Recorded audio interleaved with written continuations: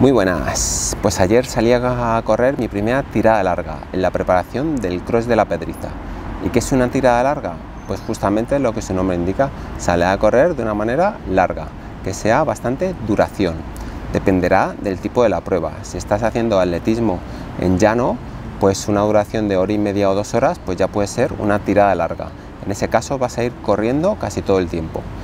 En caso de montaña, pues una tirada larga puede estar a partir de las dos horas y en montaña generalmente no vas siempre corriendo, sino que haces lo que se conoce como caminar, correr o caco, porque como suele tener desniveles, pues correr durante toda la carrera es un poco difícil.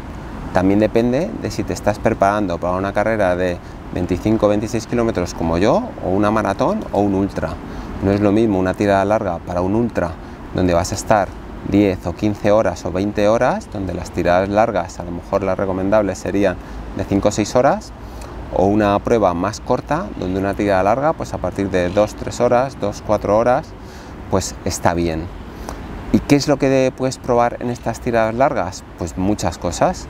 En estas tiradas largas una cosa es la equipación, las zapatillas que vas a usar durante la carrera, la camiseta que vas a usar, el chubasquero, todo lo que vas a meter en tu mochila o en los cinturones que lleves por aquí, la bebida, el isotónico, los calcetines, las gafas de sol, todas y absolutamente todas las cosas que necesites durante una carrera.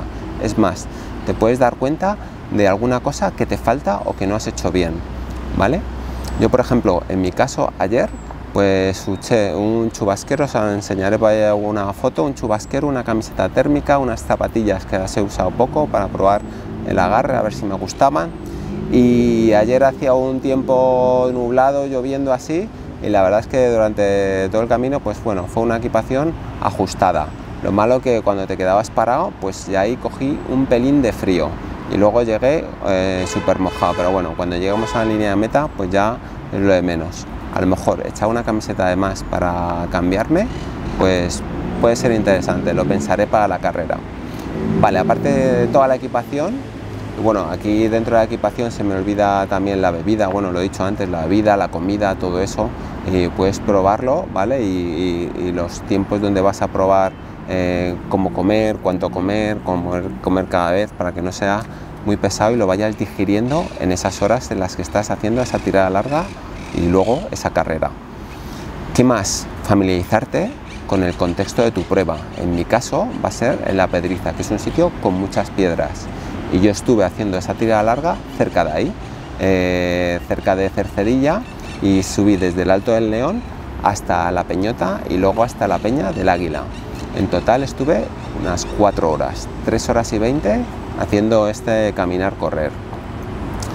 ¿Vale? Y entonces se parecía mucho a cómo va a ser la carrera, y también probando pues justamente el desnivel, los senderos, también que esta es una carrera que tienes que trepar un poco, así que me sirvió mucho como para familiarizarme con, una, con lo que me voy a encontrar en el cross de la Pedriza, aunque ya la conozca porque la haya corrido muchas veces. ¿Qué más puedes probar en esta tirada larga? Pues cuáles son tus técnicas de bajada y subida. Seguramente en los entrenamientos ya has estado practicando técnicas para subir y para bajar, cómo vas a colocar el cuerpo, cómo vas a pesar, cómo vas a hacer esos pasos cortos o cómo vas a ir abriendo las piernas, las manos y volando entre los árboles según bajas o cómo vas a ir eh, sorteando las piedras al bajar y viendo cómo resbalas y cómo te vas a agarrar, ¿no? Pues todo eso lo puedes ver en esta tirada larga. También cuáles son tus estrategias, tus estrategias de subida y bajada. Quizás seas un corredor que le gusta bajar rápido y tu estrategia va a ir por esa línea. Pero aquí puedes probar si ese baja rápido te compensa en una tirada larga o tus piernas van a sufrir demasiado. Si esas contracciones excéntricas de la bajada que fatigan mucho las piernas, pues si el disfrute lo compensas con, que luego salga un buen tiempo. O puedes probar también tus estrategias de subida. Es decir, si vas a ir andando todo el rato o vas a correr un poquito o vas a ir a un ritmo un poquito más alto para ver luego, pues eso, cómo también afecta a tu cansancio, a tu fatiga cuando llegas varias horas.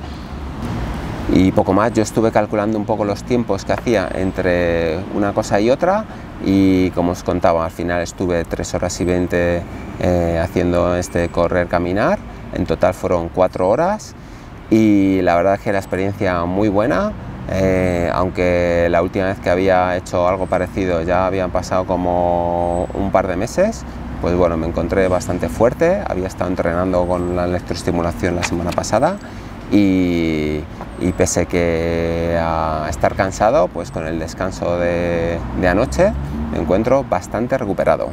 Así que ya sabes, meter tiradas largas en vuestros entrenamientos de montaña y que éstas sean en función de la prueba que vais a realizar. Si te ha gustado este vídeo, pues dale por ahí al like, coméntame cómo son tus tiradas largas y si tienes alguna duda, pues estaré encantado de leerte. Pasa buen día y a disfrutar del sol que hace hoy. Un saludo.